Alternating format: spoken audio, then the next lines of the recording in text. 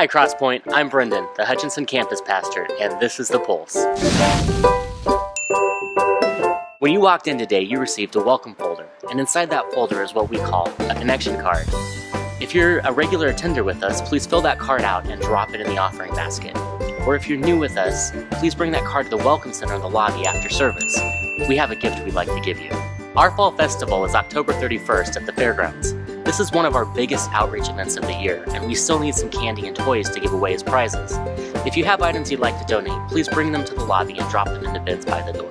Rite of Passage is our intergenerational event here at Crosspoint, where we release our kids into our church community as adults. If you and your kids would like to participate in this event and are at least 13 years of age, please email me here at the church office, brendan at crosspointnow.net. Tickets for the Aaron Shust concert are still available, but they're going fast. If you don't have your tickets yet, you can still purchase them in the Resource Center. Remember, church is a group of found people who find people. Never come alone. I'm Brendan, and this is The Pulse.